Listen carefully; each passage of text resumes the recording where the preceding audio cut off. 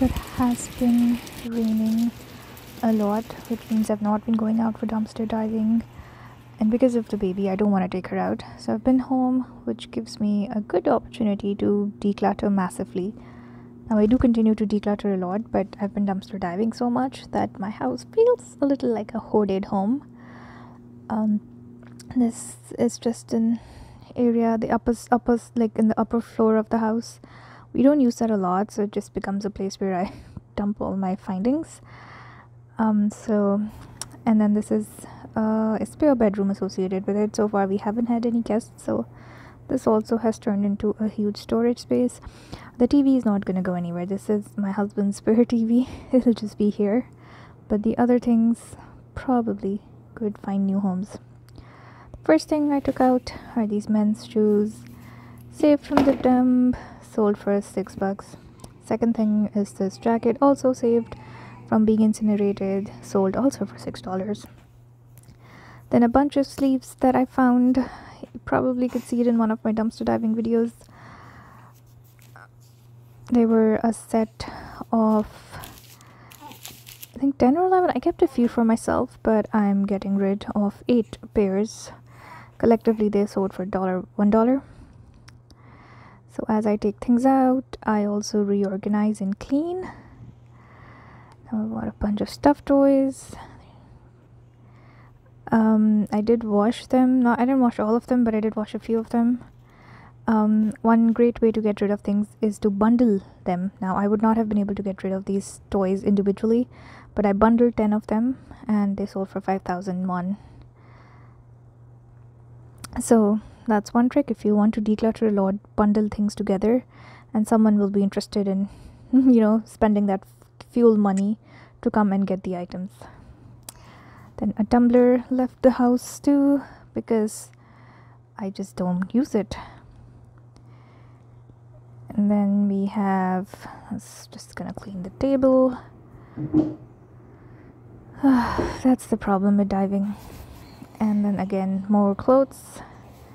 These are kids' clothes. I've just, it's tiring to deal with the clothes, the amount of clothes I find when I'm diving um, I have to wash everything. I have to match the sizes from my different finds and then bundle them together. But I do it in hopes that you know it's it's kids' clothes. Someone will be needing it. Uh, they should not be going into landfill or incinerator. So yeah, this is. They all went to a new home, to another family. And as of now, I've gotten rid of 33 items. Uh just gotta do some more organizing and clearing up and, and I've came up with five sets of pants tried to sell them. Oh these are men's pants so I actually put three of them uh, and then this jacket and they sold and this was this is a beat up pouch stroller that I could never figure out how to use so gave it for free I also got it for free. And this weird item that I don't know what it was. These are the set of five pants that I tried to sell. Nobody was interested in buying, so it just means they have to go for free.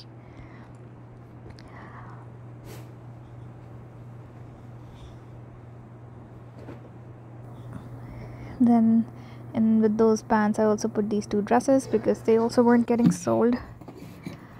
Now these bowls I actually also found while diving.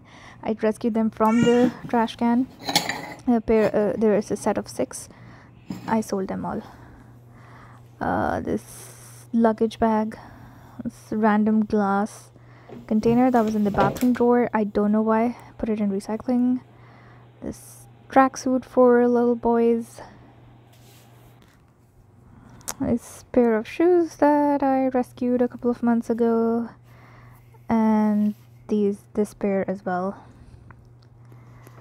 Now this is my own set. I bought this from a vintage store back in America. Uh, I'm counting the saucer and the cup is separate but I sold them for a dollar. I wish I'd gotten more money but I didn't then there is this whole set of magic bullet. Like it's not a set it's a small thing uh, but it just was a huge item. The box was taking up a lot of space. I just don't use it so i sold it. And as i clear more items i am also how much we waste how much we consume. This was a rain jacket and a bunch of clothes. Yeah so we are just the companies are overproducing good or just producing too much and we are just mindlessly consuming it all. And all of these things have an environmental cost a human cost. Mm, usually people who live in poor country they're the ones who suffer. Now this is a whole set of used batteries that don't work dead batteries. I found a place that takes it. It's safe disposal and that's where i took the batteries a leather bag uh, medicine. So this was narcotic medicine i got after my c-section. Disposed it safely. Thankfully i didn't have to use it. And then this cardboard box again. I had a lot more cardboard boxes but and they take up a lot of space so i would count it. This is a very tiny thing but i'm still counting it because it is damaged and inefficient and it's still an item in my house. So yeah uh,